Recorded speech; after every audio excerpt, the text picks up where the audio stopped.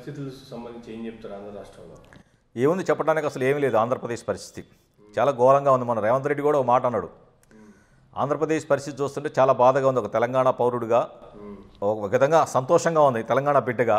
కానీ భారతదేశ పౌరుడిగా మాత్రం మొన్నటిదాకా కలిసిమెలిసి ఉన్నాం. ఇవాళ వాళ్ళ పరిస్థితి అంత ఘోరంగా ఉండడానికి కూడా చాలా బాధపడుతున్నా అని చెప్పేసి అన్నాడు. ఇవాళ ఒక రేవంత్ రెడ్డి కాదు ఇవాళ.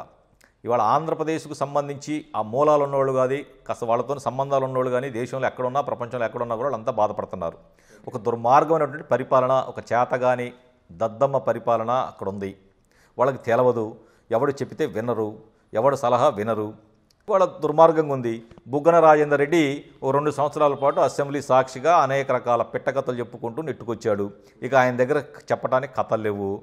తీసుకుపోయి మొత్తం శాలువాలు బొకేలు వీణలు తిరుపతి లడ్డూలు మొత్తం కేంద్ర మంత్రులకి ప్రధానమంత్రులకి ముఖ్యమంత్రులు అందరికీ ఇవ్వాల్సిన పద్ధతులు మొత్తం ఇచ్చిండు. వాళ్ళు చూడాల్సిన పద్ధతులు చూశారు. ఇక ఇక ఏమీ లేని పరిస్థితులు ఇవాళ బుగ్గన రాజేందర్ రెడ్డి రేపో మాపో రాజీనామాకి సిద్ధపడని రాజీనామా చేయడానికి కావాల్సినటువంటి ఇది మొత్తం చేసుకుంటుందని చెప్పేసి ఒక పెద్ద ఎత్తున చర్చ నడుస్తుంది. మొన్న మంత్రి మొన్న క్యాబినెట్ మొన్న క్యాబినెట్లోనే రాజేంద్రనాథ్ రెడ్డి గారు నా వల్ల కాదు నేను రాజీనామా చేస్తా అని చెప్పేసి అని తను ఒక ప్రపోజల్ పెడితే మిగతా సహచర క్యాబినెట్ మంత్రులు మొత్తం కూడా ఇప్పుడు మీరు రాజీనామా చేస్తే ఈ జరిగినటువంటి పరిణామాలు మొత్తం కూడా మన అసమర్థత మన చేతగానితనం ఇది మొత్తం కూడా మన నాయకుడు జగన్మోహన్ రెడ్డి మీదకు పోద్ది. మనం అందరం ఉంటే తలా కొద్దిగా వంచుకుంటే కాస్త ఆయన కొద్దిగా ఫ్రీగా ఉంటాడు అని చెప్పేసి అని జరిగిన నష్టం. తలాకంచు పంచుకోవాలి. మనం మనందరం మోయాలి ఇది కేవలం ఒక జగన్మోహన్ రెడ్డి అసమర్థత కాదు. ఇవాళ ఉద్యోగస్తులకి జీతాలు ఇవ్వలేని పరిస్థితి పెన్షనర్స్కి పెన్షన్లు సరైన సమయంలో ఇవ్వలేని పరిస్థితి.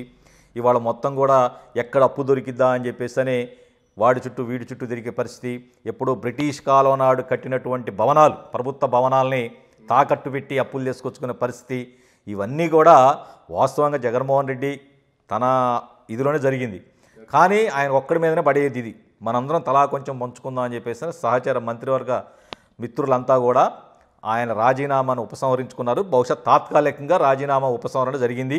అది రేపా మాపా ఖచ్చితంగా రాజేంద్రనాథ్ రెడ్డి చేతులెత్తేసేటువంటి అవకాశం మాత్రం చాలా మెండుగా ఉంది. ఫైనల్గా ఆంధ్రప్రదేశ్ రాష్ట్ర రాజకీయాల్లో ఆర్థిక పరిస్థితులకు సంబంధించి ఏం చెప్తారు? నేను అమరావతి రైతులు ఆందోళన చేస్తున్నప్పుడు నలభై మూడో రోజు నేను ఖమ్మం నుంచి సుమారు ఒక రెండు వందల మంది రైతులను తీసుకుని వాళ్ళ సంఘీభావంగా పోయి ఉదయం నుంచి సాయంత్రం వరకు మందడం ఉద్దండరాయపాలెంలో ఆ టెంట్లో కూర్చొని వాళ్ళకి సంఘీభావం తెలియజేసి ఆ తర్వాత చంద్రబాబు నాయుడు గారిని కలిసి ఒక లక్ష రూపాయలు మా మా నుంచి అమరావతి జేఏసీకి విరాళం ఇచ్చి ఆ పోరాటానికి సంఘీభావం తెలియజేసి వచ్చినాం.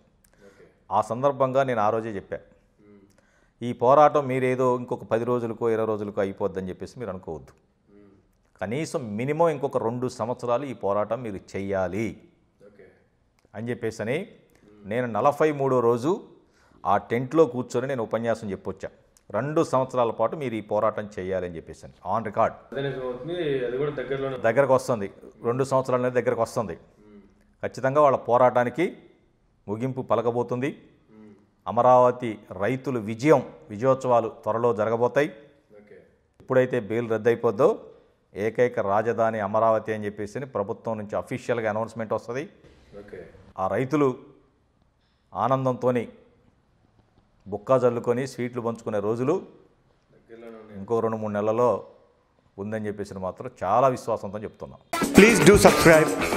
Myra Media. Please subscribe Myra Media. Subscribe to Myra Media. Please like, share, and subscribe to Myra Media for a lot of film news, gossips, and hot hot news. Please like, share, and subscribe to Myra Media. For more interesting updates, please subscribe to Myra Media YouTube channel. For more updates, please subscribe to Myra Media. So like, share and subscribe to Myra Media.